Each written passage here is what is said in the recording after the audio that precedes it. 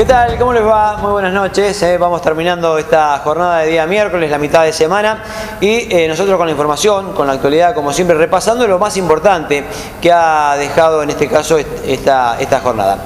En Mercedes hoy estuvimos dialogando con el doctor David Valerga, en este caso en su carácter de coordinador de los trabajos eh, que se están llevando adelante en el Parque Municipal Independencia, que han comenzado hace ya varios meses, eh, pero claro, eh, el mal tiempo y alguna otra circunstancia ha generado que bueno, se deba alargar el proceso de, obra. Está previsto para el mes de abril la realización de la fiesta de la torta frita. Vamos a, le, preguntamos hoy, ¿se llegará con el lugar, con el espacio en tiempo y forma? Bueno, él lo va, lo va a contestar.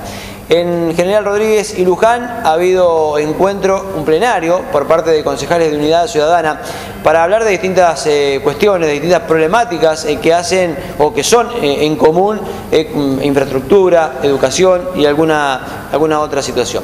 Y obviamente que también tendremos goles, porque ayer se, jugó, se jugaron partidos del torneo de Primera División C con derrotas de Alem y también de, de Luján, eh, derrotas que complican a ambos en esa idea de poder jugar el torneo reducido.